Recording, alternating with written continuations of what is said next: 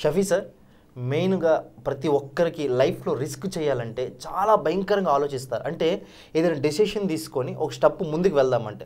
అంటే ఎగ్జాంపుల్ ఒక వ్యాపారంలో ఇక్కడ పెట్టుబడి పెడితే ఖచ్చితంగా విజయము అవుతే బాగానే ఉంటుంది. ఒకవేళ అవ్వలేకపోతే నేను లాస్ అయిపోతానేమో.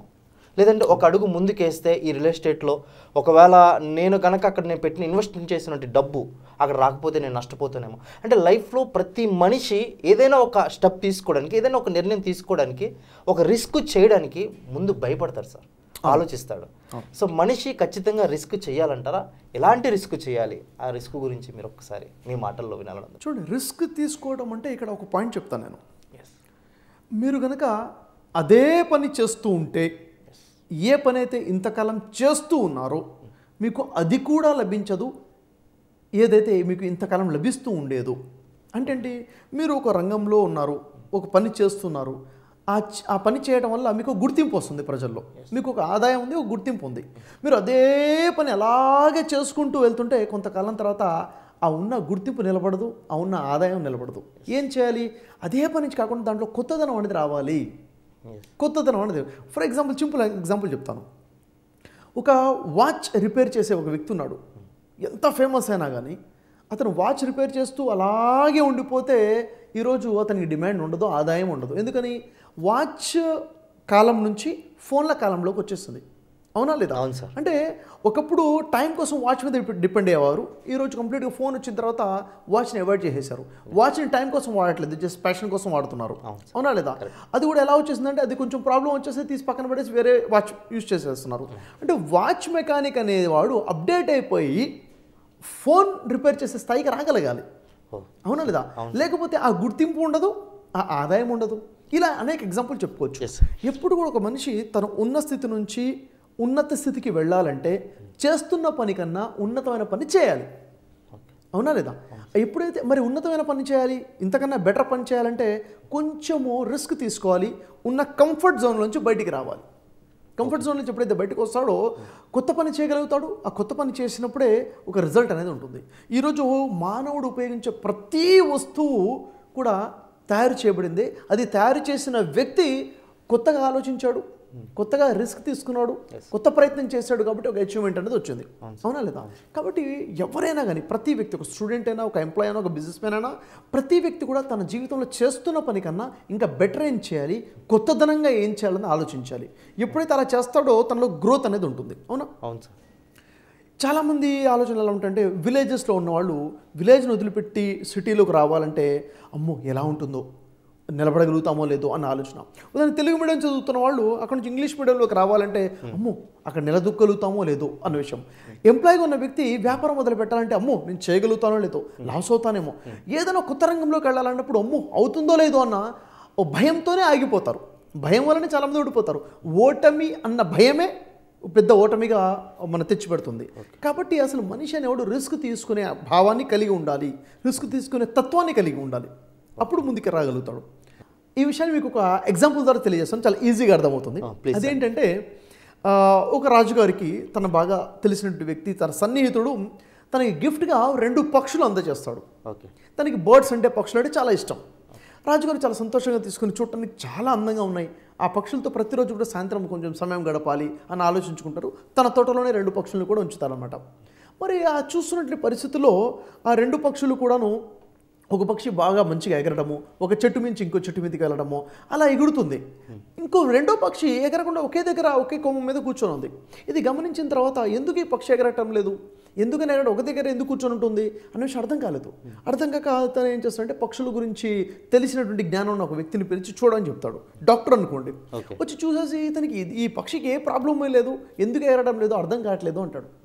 మరి ఆ తర్వాత మరి ఏంటి అర్థం అవ్వట్లేదు? ఈ పక్షి ఎందుకు ఎగరడం లేదు? ఒకే కొమ్మ మీద కూర్చొని ఉంటుంది.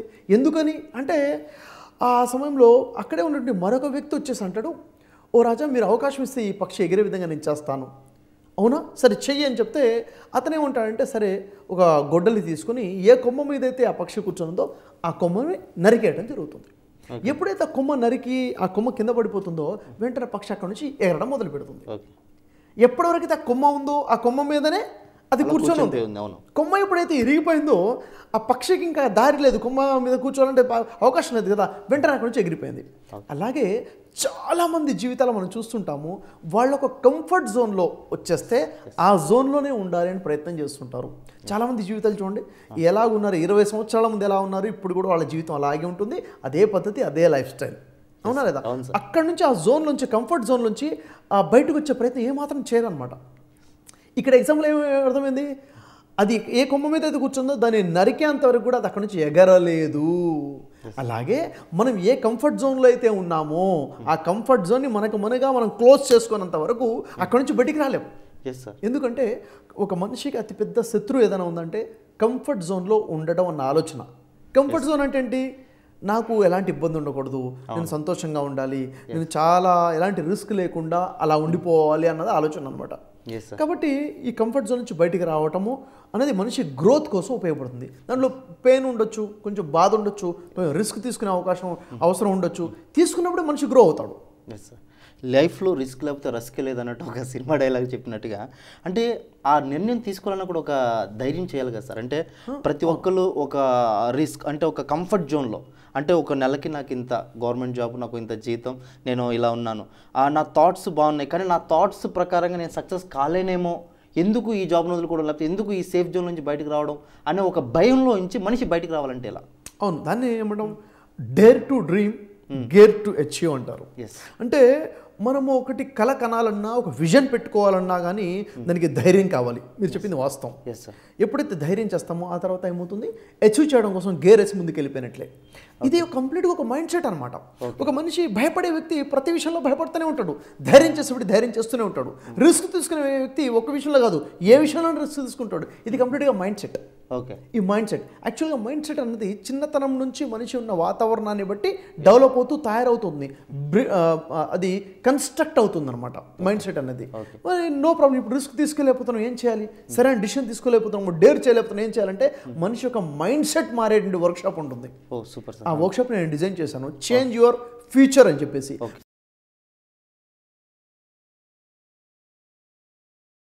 మీ భవిష్యత్తును మార్చుకోండి. ఎలా? మీ మైండ్ సెట్ని మార్చుకొని మీ ఆలోచన విధానం మార్చుకొని. అవునా?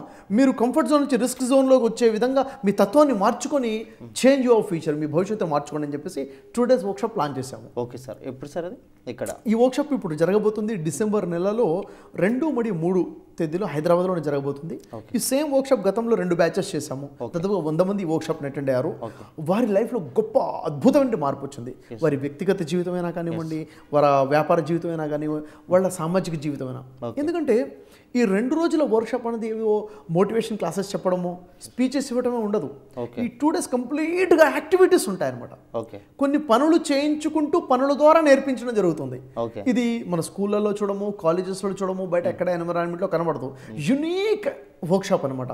కొత్తదనంగా డిజైన్ చేయబడినటువంటి workshop change of future workshop okay ఇది ఒక మాటలో చెప్పాలంటే ఒక మనిషి ఒక ముప్పై నలభై సంవత్సరాల వయసులో వర్క్షాప్కి వచ్చాడు అంటే ఇన్ని సంవత్సరాల జీవిత కాలంలో ఎంత మెచ్యూరిటీ అయితే తనకు వచ్చిందో అంతకన్నా ఎక్కువ మెచ్యూరిటీ టూ డేస్లో రాబోతుంది. Super sir. దీని ద్వారా తను లైఫ్లో డిసిషన్స్ తీసుకోవడమైనా కానీ ముందుకు ధైర్యం చేసి ముందుకు వెళ్ళడమైనా కానీ ఇలాంటి ఒక మైండ్ సెట్ అనేది ఏర్పాటవుతుంది. ఎస్ సార్ ఇలాంటి వర్క్షాప్ నిజంగా నేను ఇప్పటివరకు చేస్తున్నట్టు ప్రతి వర్క్షాప్తో పోల్చుకుంటే అన్నిటికన్నా ద బెస్ట్ ప్రతి వ్యక్తికి తప్పకుండా అవసరమైన వర్క్షాప్ ఏదైనా ఉందంటే చేంజ్ యువర్ ఫ్యూచర్ అనే వర్క్షాప్. Super sir. సో మీ మాటలను బట్టి వింటుంటే ఎవరైతే లైఫ్లో ఒక రిస్క్ చేసి ముందు అడుగు వేసి ఒక ధైర్యంతో ముందుకు సాగాలంటే ఖచ్చితంగా ఈ చేంజ్ యువర్ ఫ్యూచర్ అనే వర్క్షాప్కి అటెండ్ అవుతే ఖచ్చితంగా తన జీవితంలో రిస్క్ చేస్తూ ఉన్నతమైన స్థితిలోకి వెళ్తాడని ఖచ్చితంగా నేను నమ్ముతున్నాను సార్. ఇంకా చెప్పాలంటే ఎవరైతే ఈ వర్క్షాప్ అటెండ్ అవుతున్నారో సార్. వాళ్ళకి ఒక స్పెషల్గా ఒక గొప్ప శుభార్త ఏంటంటే ఎవరైతే వర్క్షాప్ అటెండ్ అవుతారో వాళ్ళకి పర్సనల్గా నేను వన్ ఇయర్ వరకు మెంటరింగ్ చేస్తున్నాను. సూపర్ సార్ అంటే పర్సనల్గా నేను వాళ్ళ లైఫ్ ఎక్కడైనా ఎప్పుడైనా ఏదైనా కావాలంటే ఒక ధైర్యం ఇవ్వడము ఒక గైడెన్స్ ఇవ్వడము ఒక మెంటర్ లాగా మెంటర్ అంటే ఒక గురువు అనుకోండి గైడ్ అనుకోండి ఓకే ఆ విధంగా నేను పర్సనల్గా టచ్లో ఉంటాను. ఎవరైతే వర్క్షాప్ అటెండ్ అవుతారో. ఇది కూడా గొప్ప అవకాశం. ఎస్ సార్ చాలామంది మీతో మాట్లాడుకోవాలి ప్రతి సమస్య చెప్పుకోవాలి.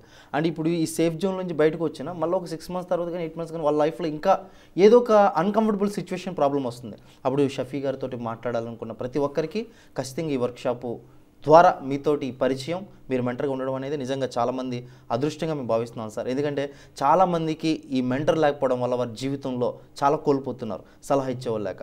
సో ఈ టూ డేస్ వర్క్షాపు మీరు పెడుతున్నందుకు ప్రజలందరి తరపు నుంచి హృదయపూర్వక ధన్యవాదాలు తెలియజేస్తూ ప్రతి ఒక్కరూ ఈ గొప్ప అవకాశాన్ని మేము తప్పకుండా ఉపయోగించుకుంటామని ఆ, సో ఈ వీడియో ద్వారా తెలియజేస్తాం sir. Thank you so much sir. Thank you much అండి థ్యాంక్ యూ